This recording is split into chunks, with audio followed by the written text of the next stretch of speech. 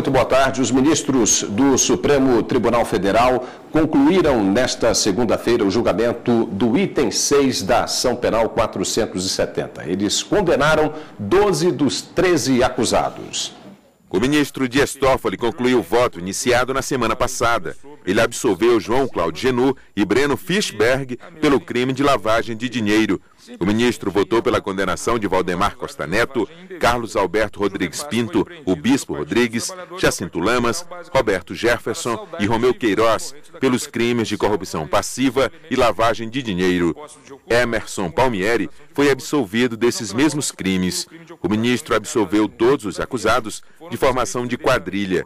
Dias Toffoli encerrou votando pela condenação de José Borba por corrupção passiva e lavagem de dinheiro. Eu julgo procedente parcialmente a ação penal para condenar o réu José Rodrigues Borba como em curso nas sanções do artigo 1 inciso 5 da Lei 963 de 98, tão somente em relação ao único fato, a esse único pagamento de 200 mil reais.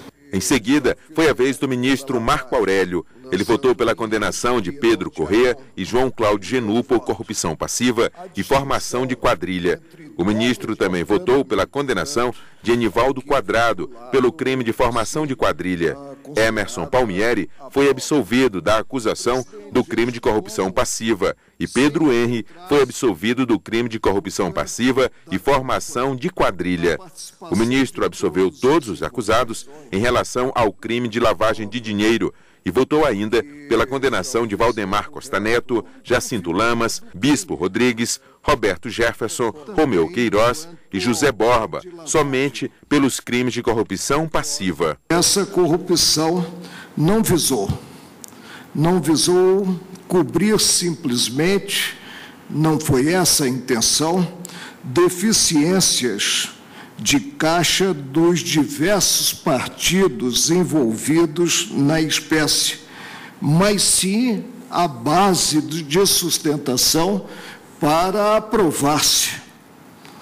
Sofrendo com isso a própria sociedade brasileira, aprovar-se determinadas reformas. O ministro Celso de Mello acompanhou na íntegra o relator, ministro Joaquim Barbosa, que votou pela condenação de todos os acusados pelos crimes imputados pelo Ministério Público. Eu acompanho o eminente relator, senhor presidente, de modo integral no voto que Sua Excelência profere essencialmente, eh, tanto na parte que, em que formulou, em que Sua Excelência formulou o juízo condenatório, como naquela em que eh, proferiu juízo absolutório. O presidente do STF, ministro Aires Brito, também acompanhou na íntegra o voto do relator. O que faço aqui no meu voto é analisar um por um os réus com as condutas que lhe foram imputadas pelo Ministério Público para concluir pela procedência do voto do ministro Joaquim Barbosa, com o devido respeito pelos ministros que dele divergiram ou radicalmente, por modo pontual, ou, ou apenas em parte. Todos os ministros votaram pela absolvição de Antônio Lamas. O julgamento da ação penal 470 continua nesta quarta-feira.